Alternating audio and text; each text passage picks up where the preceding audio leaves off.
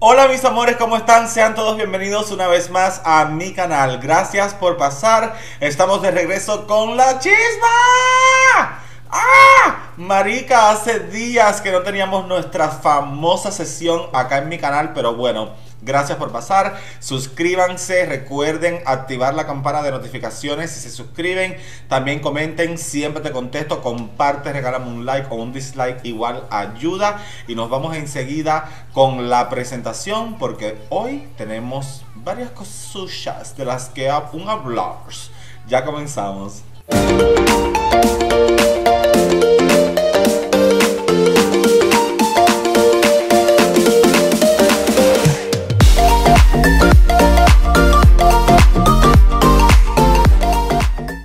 Día 30 finalmente fue el Bring Back My Goals. Un asco. Ay, maricón, hasta un live mío hablando mierda en Instagram está más entretenido y mucho mejor. Pero bueno, de todas formas no lo digo yo, lo dice el público. Hicieron un poll, que en español es como una encuesta, y resulta que de los que están suscritos al Wow Presents en YouTube, supuestamente la encuesta arrojó que solo el 15%, el 15%, o sea, nada de los suscriptores fueron los que miraron el programa. Y es que, ay, marica, estuvo malo. Pero bueno, no sé ustedes qué pensarán al respecto. Déjenme saber en los comentarios. Y hablando de tráeme de vuelta a mis monstrillos. Resulta que hoy acaba de salir la noticia de la boca de la mismísima momia. De que se está ya abriendo oficialmente el casting para la tercera, así como escuchan, para la tercera temporada de Drag Race UK. Como ustedes saben, ya la temporada 2 está grabada y de hecho en el anuncio de hoy aprovecharon para asegurar de que esta va a lanzarse oficialmente en la primera temporada del próximo año 2021. Por eso antes incluso de la propia transmisión de la temporada, es que tanto RuPaul como la producción del show ha decidido abrir desde ya el casting para la tercera temporada, así que todas las británicas muevan esos bollos y audicionar y que al final todos podamos decir más pera. Y dicho sea de paso, ya que estamos hablando de UK, resulta que la mamarruca quien más o menos ha regresado un poquitico ya a sus redes sociales, sobre todo al Instagram, pues ha dado a conocer también de que será la portada de la versión británica de la famosísima, icónica revista Cosmopolitan y va a ser para la edición de lo que corresponde el mes de diciembre y enero de 2021. En la foto una foto que ya hemos ya visto millones de veces, el mismo tipo de corte de vestido, el mismo maquillaje, el mismo pelo, pero de todas maneras sigue viéndose impecable la señora, nadie le quita que ella de verdad que es la más perra entre las perras y de verdad que estoy feliz por ella porque al final de verdad que muchos estábamos cagados.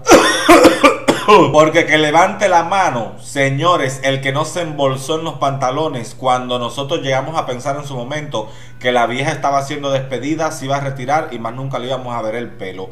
Así que yo estoy feliz de que ella esté reapareciendo, de que esté ahí bien asegurada para futuras temporadas y aprovechando que también ahora estoy hablando de futuras temporadas, sé que andaba el rumor donde supuestamente la temporada 13 de Drag Race, la versión de aquí de Estados Unidos, se iba a estrenar el próximo 4 de diciembre. Pero de todas formas, esto ha sido desmentido por la misma producción, ya que ellos dijeron de que la temporada 13 no va a ver la luz sino hasta el año que viene.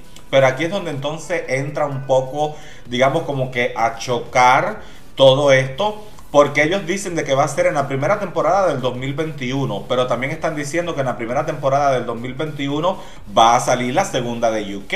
Y ustedes saben de que ellos no van a lanzar UK al mismo tiempo que están lanzando América, Estados Unidos. Entonces, y es cuando yo digo, ¿no será que es verdad que la temporada 13 sí va a salir el 4 de diciembre y se lo tienen calladito? Porque pónganse a pensar, cuando tú dices la primera temporada del 2021, marica, eso para mí suena a enero, febrero, marzo, abril, de ahí no pasa. Entonces, si van a sacar supuestamente UK en esa primera temporada, ¿en qué momento, en cuál, dónde, cómo y dónde, a, cuándo? Es que entonces van a sacar la americana. Así que yo creo que vamos a esperar a ver qué pasa. Falta solamente un mes para el día 4 de diciembre y veamos entonces si es verdad que sorpresivamente lanzan una temporada 13 ese día o no. Así que seguiremos informando. Y como han podido ver por redes, sigue creciendo cada vez más la teoría de que se podría realizar finalmente un All Winners de RuPaul's Drag Race. Como ustedes saben, Bianca del Río no para de burlarse de todo este tema de la famosa edición de todas ganadoras en sus redes sociales, pero ahora sí se ha estado hablando un poquitico más seriamente del tema, ya que la revista Gay Times salió en búsqueda de qué pensaban el resto de las ganadoras de la franquicia, o al menos de casi todas las temporadas para saber qué pensaban ellas, si lo harían, si no lo harían, si ni muertas, si lo quieren hacer. Y esto fue lo que muchas respondieron. Vivi Sahara Bené, ¿quién? Dijo, una temporada de ganadoras, nunca digas nunca. Dependerá de dónde esté y de lo que esté haciendo. Nada, no vas a estar haciendo nada. la perra, qué perra, la perra, más perra. Y la perra seguía, que perra, la perra, más perra, que perra, seguía y seguía. Taira Sánchez dijo. Sacadme de la vida, no me incluyan en nada, olvídenme, estoy muerta, es una comunidad tóxica, una comunidad vil, una comunidad hija de la gran puta. Y dijo que ni muerta. Pero Nadie sabe, al final del día, como dice el dicho, por la plata baila el mono. Raya piensa lo siguiente, creo que es una buena idea. Creo que a los fans les encantaría. Yo sería una de las que participaría, aunque no sé cuánto voy a aguantar. Ahora soy bastante gruñona. Bueno, mami, eres gruñona, pero también bastante viejita. Y si sumamos a eso que nunca bailaste, que nunca fuiste la gran cosa, que ganaste porque Tyra Banks te ayudó, es como que veo aquí una posible primera eliminada. Sharon Needles, después de la cancelada que le han dado, dijo que por supuesto que sí. Que iría solamente por el simple hecho de participar en el programa, ya que de hecho es lo más divertido que ella ha llevado a cabo en toda su vida. De Jim Monsoons, la verdad, nunca hemos sabido nada. Obviamente, ya todos sabemos lo que opina Bianca. Y en el caso de Violet Chachki, que ya en el pasado había dicho que no, que, o sea, adiós, ni muerta. Ella, pues ahora dice de que ha recapacitado y que pensándolo bien, a lo mejor si regresara, por lo menos para tener una buena experiencia. Ha dicho que no quería participar en un tipo de programa así pero que como ahora piensa que va a ser divertido, cree que sí va a hacerlo y tener la experiencia documentada. El resto de las pendejas no se han pronunciado al respecto. De todas formas, también cabría la duda si las internacionales es como que se les daría un chance. Dígase las que han ganado en Canadá, cualquiera que sea la que gane ahora en Holanda, las de Tailandia, o sea, las de UK, que no se sabe si todas estas niñas eh, pues es como que van a volver. Tampoco se sabe si también para un todas ganadoras se incluirían las que han ganado los All Stars. Yo creo que es válido que se les pudiera dar también una oportunidad, pero bueno, aquí ya esto es ya nosotras aquí soñando despiertas porque honestamente yo no veo eso sucediendo. Digamos que por lo menos en los próximos tres años, quizás en cinco sí como para ya cerrar históricamente por como, como que por todo lo alto el programa. Pero no creo que ahora mismo es como que mm, no, no, no. Increíblemente, Trissy Mattel se convierte en la primera drag, en la primera chica de Drag Race que llega al millón de suscriptores en YouTube. Y marica, te lo juro que yo no me he tomado la noticia para nada bien. Yo, a mí me cae bien Trissy, a mí me gusta. Pero es como que me jode porque siento que se le ha dado todo muy fácil, como que la tienen un poquito sobrevalorada, porque marica, YouTube es duro. Y tú sabes cuánta gente de Drag Race tienen canales, tú sabes cuánta gente está subiendo de verdad contenido bueno. Entonces Tripsy, que es lo que, ay, acabo de decir Tripsy con P. Entonces Trixie está ahí en su canal subiendo puras pendejadas, los dos o tres productos que tiene en su línea que nadie la compra. Y es como que se me hace que es un contenido como que muy me, como para que alcance un millón de seguidores. Pero obviamente está codeándose de artistas famosos, lleva cantantes, hizo un episodio o dos o algo así con James Charles en el concurso de maquillaje y obviamente James tiene que cuánto, casi 20 millones de suscriptores en el canal de él. Pues obviamente a ella se le ha hecho muy fácil. Más la fama que tiene por sí sola, porque es verdad que el programa de ella con Katia, mucha gente lo ve y lo disfruta. Pero recuerden que el verdadero protagonista de este show ah, es la edición, no son ellas. Ellas tú les quitas la edición, mi amor, y no son capaces ni siquiera de entretener a los asistentes de un funeral. A mí por quien más pena me da honestamente es por Willam, porque creo que ese sí es un contenido bueno, rico, donde el pájaro por años ha estado dando todo para eh, cultivar a la comunidad, también para ser divertida, para ser cómica. Eh, yo por lo menos particularmente he aprendido muchísimo de nuestra gente y de nuestra comunidad gracias al canal de Willam. Lleva haciendo YouTube años de años de años. Creo que casi acababa de salir de su temporada que fue la cuarta y todavía ahí está batallando Marica que se acerca, se acerca, se acerca, pero aún no llega. ¿Cuándo le vamos a regalar el millón al pájaro? Síganlo, apóyenlo, denle todo, que de verdad que el contenido de ella vale la pena. Y seguimos con la mamarruca, la cual será la nueva protagonista del nuevo volumen de la serie de cuentos autobiográficos Little People Big Dreams, o sea, gente pequeña, sueños grandes. Este editorial lo que hace es lanzar estos libros que de una forma divertida, con textos, e ilustraciones tratan de educar a los infantes, a los niños, a conocer, eh, o sea, como que la historia real que hay detrás de gente famosa, pero haciéndolo como que un poco más entretenido y desde un punto de vista más como que fantasioso, que los niños piensen que están leyendo como que casi que un cuento de hadas, pero en realidad es una historia que sí le ha sucedido de éxitos y triunfos a personas de carne y hueso. Y Fifi Resulta que ha bloqueado a Jiagan. ¿A quién le importa? A nadie. Pero tenemos que completar tiempo para que YouTube monetice el video. Fifi pues hizo público, que ahora obviamente recuerden se llama Jeremy. Pues ahora Jeremy ha dicho público de que adiós Jiagan, de que estoy ya cansado, me tienes hasta aquí, me tienes hasta la perilla de que uno gaste el tiempo tratando como que de educarte, de hacerte ver las cosas de la vida como son. Estoy parafraseando, no literal.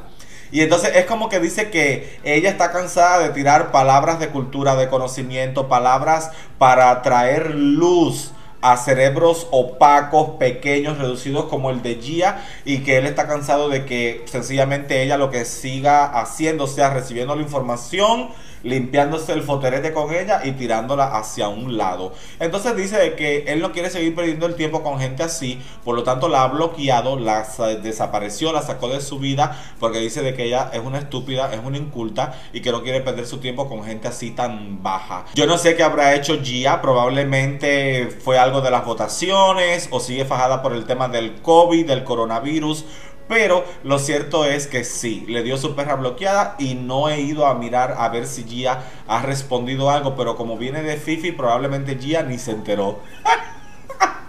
Y ya llegamos al plato fuerte del video de hoy. Y sí, chicos, como ustedes pueden haberse a lo mejor ya dado cuenta, la cosa por Holanda está color hormiga brava. Resulta que nuestro queridísimo Fred, el sucesor de RuPaul, la cosa más grande que ha pasado en toda esta franquicia, está envuelto ahora mismo, chicos, en un gran escándalo. Al punto que el presentador ha hecho un post en sus redes sociales donde se disculpa y donde dice estar terriblemente arrepentido de todo lo que está sucediendo y pide perdón y ha desactivado los comentarios, todo. Está que no quiere saber del mundo, no quiere saber de nadie. Yo espero que de verdad pues él esté sencillamente aprendiendo a vivir con esta nueva realidad que le ha tocado de cerca y es que se ha filtrado un video íntimo que no se sabe quién lo grabó. ¿Será que fue Abby Oh My God? Bueno, no sé, porque creo que el que le bajó los pantalones fue una mano blanca.